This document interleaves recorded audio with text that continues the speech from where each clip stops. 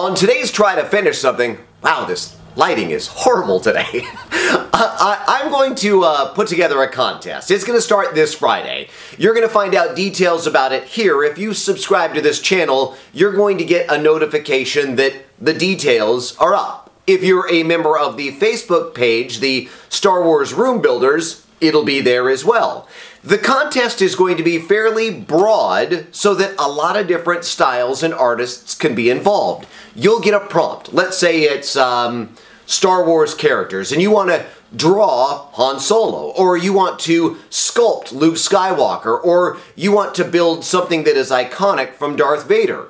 All of those would be available. It's your interpretation of the prompt, and whatever medium you use, you create some sort of art project. And the prizes for this are, are growing and growing, and they're outstanding. And we're going to have a couple different categories, and again, more details on Friday. But I want to do a project. So today I am going to do something baby steps to get myself closer to my room build of having that crashed ship through my build room.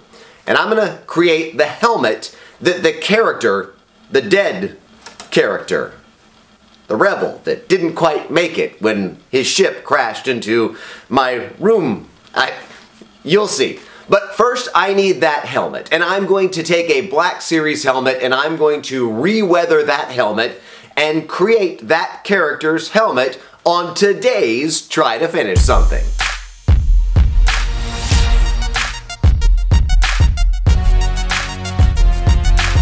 So here it is, the Black Series helmet that I picked up on eBay. And in the end of all of this, I really want to have a single-seater Y-wing crashing through the ceiling because I think if I angled it coming through, it would give me some more real estate to show what the ship actually was and the damage and make it look really cool with the ceiling falling apart. I could have the front laser cannons and a good amount of detail to the part sticking out without having to take up my entire build room. You know, this is a really good looking helmet right out of the box. You can tell it was factory painted, but the detail is really nice. What I don't like is the uniform shading. It's like a bad airbrush job. And I'm not an airbrush expert in any way, and for something like this, I don't like the idea of using an airbrush because it tends to be too uniform, like this shading here. An airbrush painting is perfect to feather out the paint, and if I was painting this helmet from scratch, I might do a layer like they've done for me of an airbrush, and then layers of other colors with a paintbrush, and then blot it off with something like a paper towel. My plan for the room in the end is to have the ship crashing through and the rebel pilot's arm dangling out, holding the helmet. Since this is a crashed ship, the weathering needs to be a bit more intense than what this comes with. Translation, I need to dirty this up. And before you even say it, I know this is an X-Wing helmet, Luke's to be exact, but a Y-Wing helmet isn't as readily available. And in Rebels, they both wore the same helmets. And John in one of my nerd groups said that on Yavin, they wore the same helmet in the Y-Wing and the X-Wing too. And I'm, I'm really not sure what my plan is, but I don't want the nose of an X Wing because it would have to come in too far to show the ship. I could do a wing of an X Wing with the laser cannon on the end, but I'm just not sure I want to do that either. Back to this helmet. Take a good look at it because it's paint time.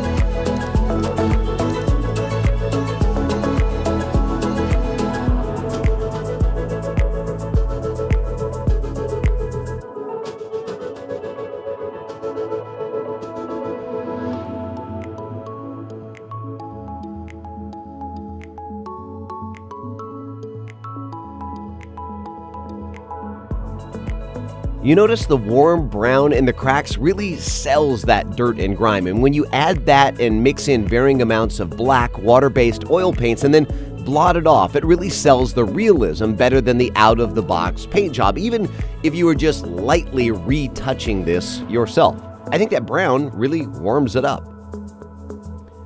So I will keep trying to add paint on without a pattern and cover the areas alternating between blotting and wiping off the paint to give me some different textures.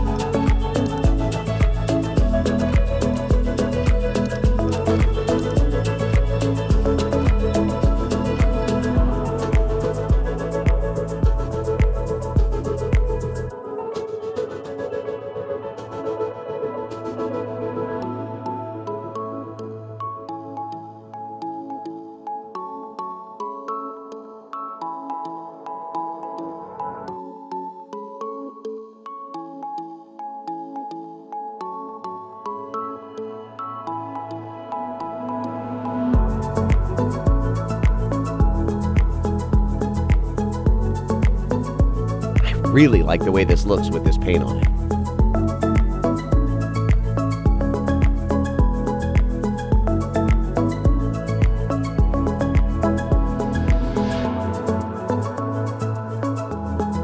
Look, here's the side that I'm working on.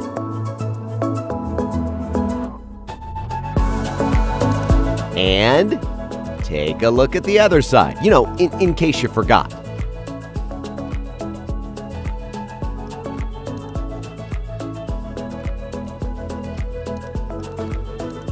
Here's the side with some paint on it, and here's the monotone, just gray side.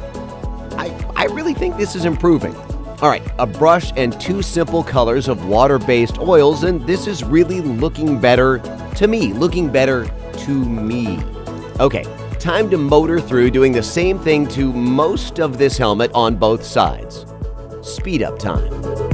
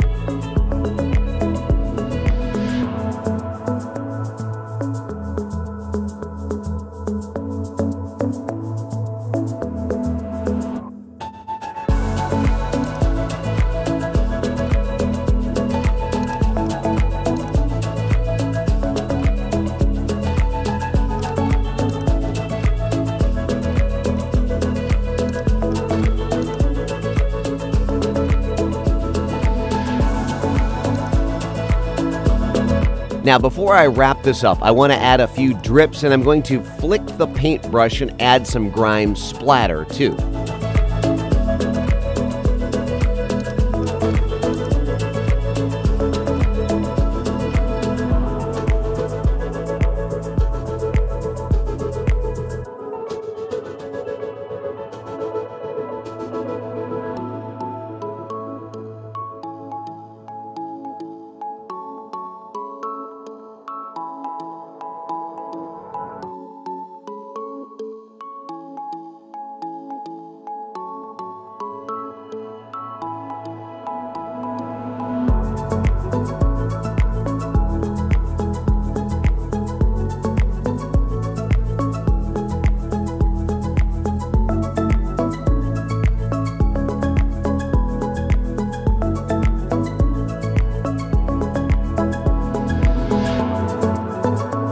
And on this side, I want this pilot to have seen some hand to hand combat before, you know, he met his demise in my ceiling. Those stormtroopers are not known for their accuracy, and in this pilot's last encounter, a trooper barely grazed his head, and I want a bit of a blaster mark on his helmet.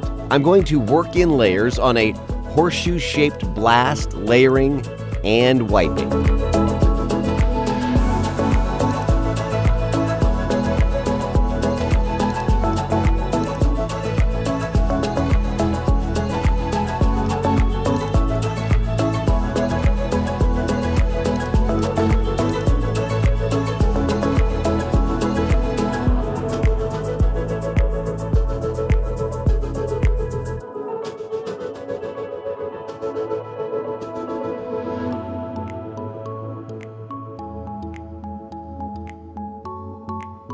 Now I'm going to mix a bit of silver rub and buff with turpentine to make it more paintable, and I'm going to dab on tiny amounts of silver with a really small brush in a few areas where the paint is supposed to look like it scratched, maybe made it down to the bare metal. But leaving it like that would be too silver and too clean. So what I'm going to do is add a few specks of black in the same places I'm putting the silver. And then I'm going to wipe it in the direction of the scratch to blend some grime of black into the silver and dragging it with a paper towel will help me create those scratch marks.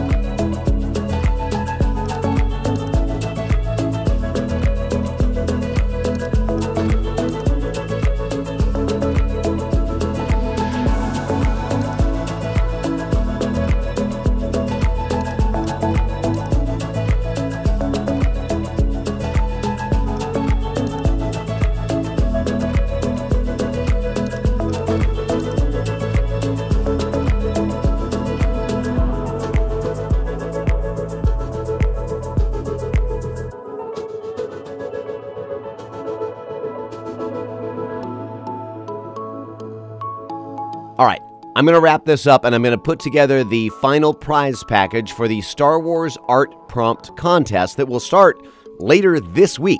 But I'm calling this reweathering of this Black Series X Wing helmet finished. I really hope you liked the video, and if you did, tell a friend, like, and share it. If you didn't, as always, just keep it to yourself, and we'll see you next time as we try to finish something.